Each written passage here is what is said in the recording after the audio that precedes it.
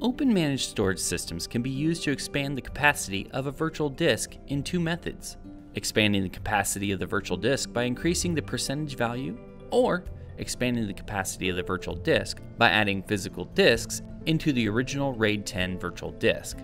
In this video, we'll demonstrate how to expand the capacity of a RAID 10 virtual disk in OpenManage Storage Services by adding physical disks into the original or existing RAID 10 virtual disk. To begin, log in to the OpenManage Server Administrator and click Storage in the tree view.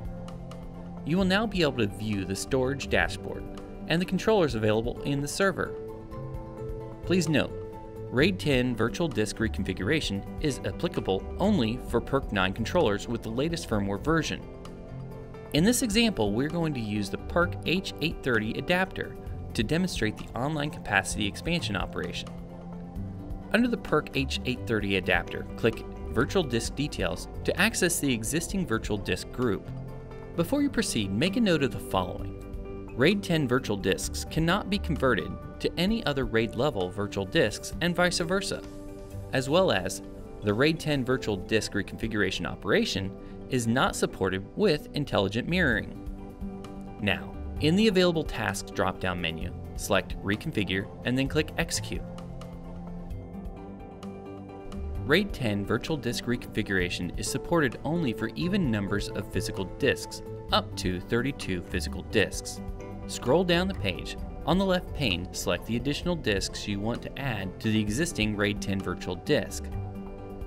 In the right pane, you can verify the selected virtual disk's information. Click Continue to proceed to the next step. The minimum size to be expanded is automatically calculated by OpenManage Storage Services based on the physical disks added.